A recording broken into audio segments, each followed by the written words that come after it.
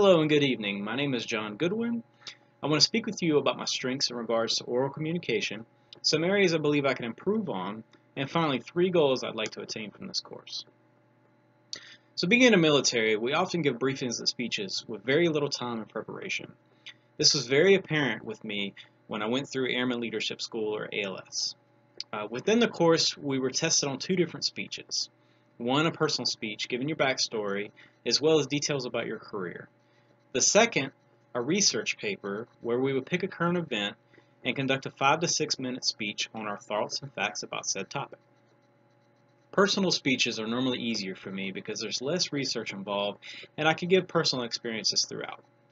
When having to conduct research for a speech, the information doesn't quite flow as well because I have to think about the facts as they are being projected to my audience.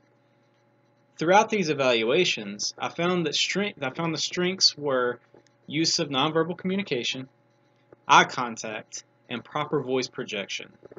I often talk with my hands, as you can see. Nonverbal communication, I found, plays a huge role in public speaking. I think eye contact and project, voice projection go hand in hand. You want to make sure that you're staying engaged with your audience. My instructor in ALS told us to always keep our head on a swivel. On the other hand, my weaknesses were physically shuffling back and forth, not speaking clearly a few times, and losing my train of thought. When I get nervous, I often sway side to side, which can be distracting.